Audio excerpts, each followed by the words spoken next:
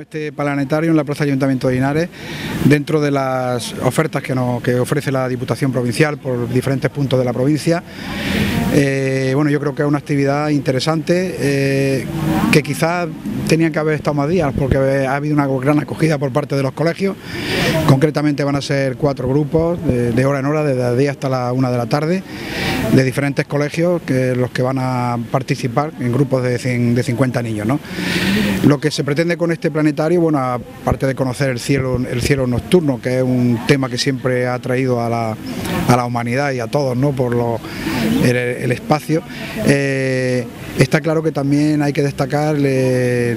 algunos aspectos que los monitores van a, van a, explicar y a narrar a los que van a visitar el planetario y es precisamente los esfuerzos que se están haciendo desde las diferentes administraciones para evitar la contaminación lumínica, que como todos sabéis eh, es una contaminación que desde la Unión Europea pues en los últimos años se está incidiendo bastante y de hecho pues son muchos los ayuntamientos y las diferentes administraciones que están eh, cambiando las luminarias por otro tipo de luminarias que no produzcan esa contaminación. Decir también que la provincia de Jaén es una provincia rica en cielos, en cielos limpios, como, ser, como puede ser Sierra Morena y la Sierra Sur, y también hay un estelar en, el municipio de Santiago de la Espada, en Don Domingo, efectivamente que también es una, joya para poder ver la, ver la, estrella y ver toda, todo el universo. ¿no? Y se trata de eso, de fomentar este,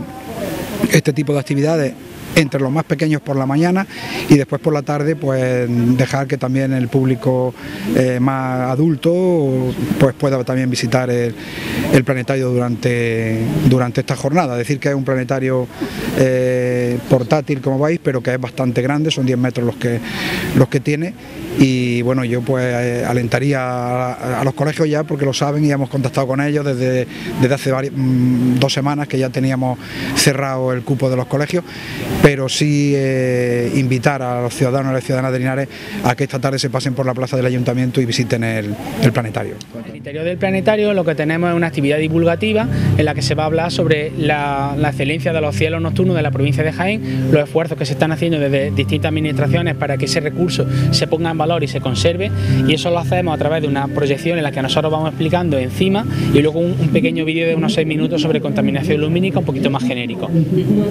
Posibilidades de, observación también, ¿no? Habrá ejemplos de estas constelaciones, la riqueza en definitiva que nos ofrecen los cielos de la provincia. Sí, al final el planetario es una herramienta que nos permite acercar al núcleo urbano, donde por desgracia no podemos observar la estrella, la excelencia, ¿no? con la calidad que lo podemos observar en el campo, y es una herramienta que nos permite acercar a esos cielos oscuros tan excelentes que tenemos en la provincia de Jaén, que la gente conozca que es un tesoro que tenemos en nuestras redes de parques naturales, en nuestros espacios naturales de la provincia, y bueno, pues una manera de acercarlo y que la gente tenga posibilidad de disfrutarlos también desde, centros de ciudades como Linares. Tenemos distintos enfoques, al final es una actividad de divulgación científica, el nivel de, mm, de profundidad en el que nos metemos la materia científica depende también de, las personas que, estén dentro en cada momento. Ahora por la mañana, que son colegios, se tiene un, tono más, divulgativo, mientras que por la tarde, que viene más también gente adulta, pues nos podemos meter un poquito más en materia, hablar sobre los perjuicios que incluso la influencia que puede tener sobre la salud, el, hecho de iluminar correcta o incorrectamente en nuestra ciudad, incluso en nuestro hogar,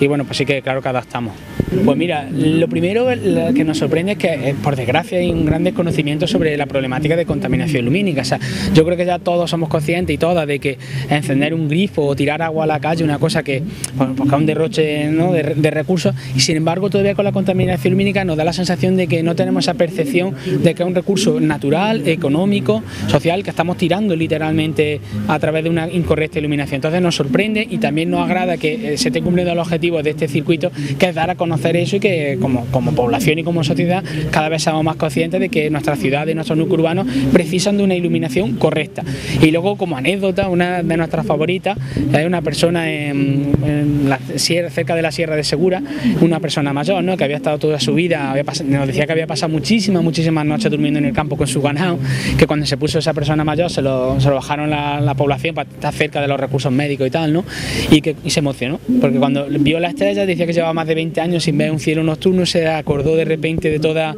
la infancia que había pasado al ver las estrellas, aunque fueran simuladas en un planetario, pero se emocionó muchísimo y nos, y nos emocionó a su vez. Al final han pasado más de, van a pasar con hoy cerca de 5.000 personas en todo el circuito y las anécdotas son muchas, una aceptación increíble, espectacular, siempre con cola, no hay ni una sola sesión que no se haya llenado completamente y estamos muy contentos de, de estar cumpliendo con esta función divulgativa que al final era el objetivo de este de aquí. Nosotros a través de Astro Andaluz hemos hecho actividades en Castur, de hecho lo hemos hecho varios años y lo mismo, con una aceptación increíble y Linares, a, pesar de ser una población grande, como el término municipal también es muy grande, tiene zonas desde las cuales se pueden hacer actividades de una manera espectacular. De hecho también a colación de la adaptación de luminarias que se está haciendo, cada vez se utilizan luminarias con toda la luminaria hacia abajo, con colores cálidos en vez de blanco, el cielo va mejorando, o sea, es un recurso que está mejorando notoriamente y ya no es un problema, antes sí que era un problema que se asociaba a la astronomía, pues hay que irse al campo y hay que irse muy lejos. Cada vez tenemos que irnos menos puesto que la contaminación lumínica se está reduciendo. Y reducir la contaminación lumínica no se trata de ir a oscuras por nuestra ciudad, es simplemente que pongamos la luz donde la necesitamos, que es en el suelo. Entonces, pues Linares hemos hecho cosas y estoy seguro de que vamos a seguir haciendo cosas porque el recurso está mejorando.